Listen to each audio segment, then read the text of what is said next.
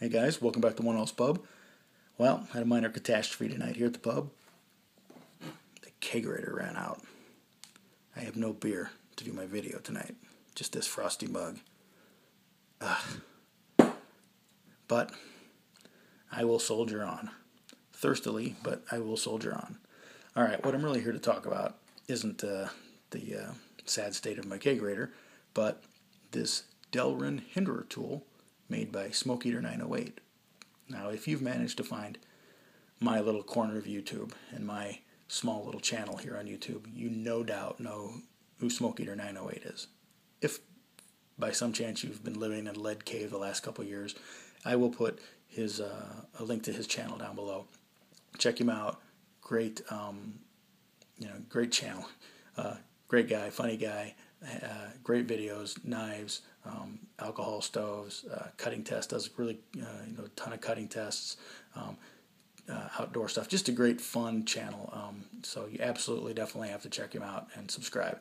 Um, but a couple of months ago, I guess, or however long it's been, a couple, maybe a few weeks ago, I'm not sure exactly, uh, he had a prototype uh, of these Delrin tools. I think he did one for Strider or was going to do one for Strider too. I don't remember now.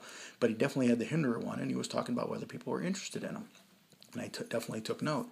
Um, and then um, on Instagram uh, this past week, he posted up that he had some uh, for sale. So I uh, jumped on one. Um, the uh, you know, and the, the price twenty five bucks.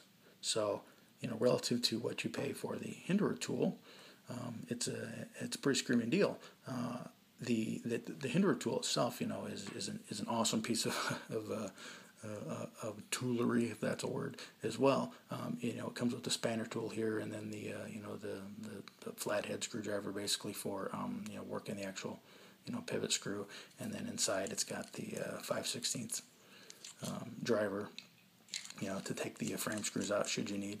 Um, and you know, it's seventy five dollars. These things are not cheap. Now, you know, the knives aren't cheap either, and if you're gonna have the knives, you might as well have uh, the tool as well. And I, I love this tool. Um, but this idea um, that Robbie had here, uh, Robbie being Smoke Eater 908, um, of, of offering this, then allows you to just use like a penny and uh, you know one of these little um, little, little hex tools to uh, to substitute for the other functionality of this, and for twenty five dollars and one cent, or well, I don't know what's that cost, 15, 20 cents.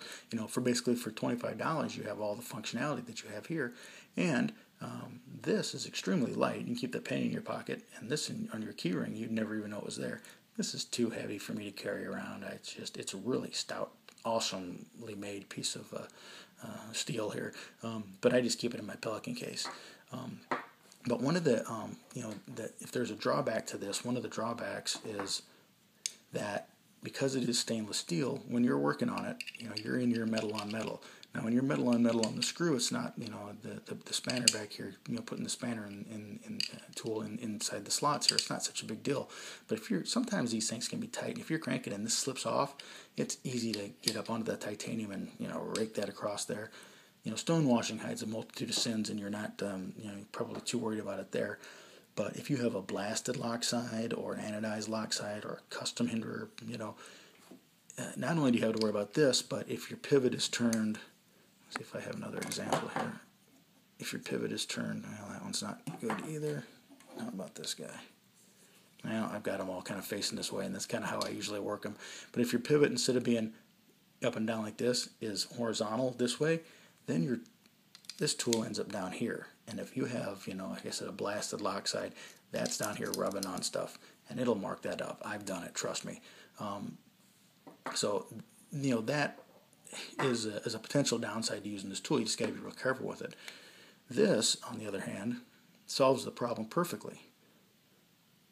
You know, this plastic, you know, Delrin, but you know, it's plastic-like material. is not going to harm the, the lock side at all. It's very gentle to it. Plus, because of the way that it fits in, you know, cylindrically down the top, you're not even gonna, and you know, whether you're not you keep the keyring on there is up to you, but you're not even gonna be, you know, have an opportunity to you know bang into the frame down here with it. So all you need to do is take your penny, take your tool, insert it, there. Insert the penny there. And, whoops, get it back in frame here and adjust away. Uh, I've used it a couple times. Works fabulous. So, gets one all's a thumbs up for sure. Um, anyway, just wanted to uh, to go over that real quick and show you my uh, my little Delrin tool from Smoke Eater. Uh, highly recommend getting it if you're a Hinderer fan and have Hinderer knives. It's a great little tool. Um, nice uh, additional accessory to have. All right, well that's it, guys. That's one all's two cents. Keep the change. You know, sláinte just doesn't. By the way, in case you guys are wondering what that always means, sláinte means it's Irish for cheers. And with an empty beer, it seems kind of hollow. Oh well. Sláinte, guys.